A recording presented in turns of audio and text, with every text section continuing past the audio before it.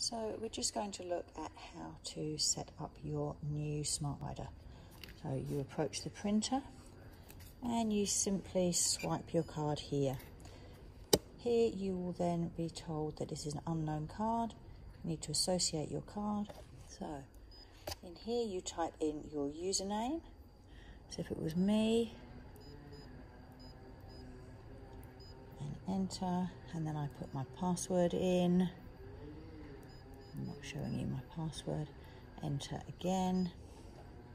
And then you would just log in and it would accept your credentials.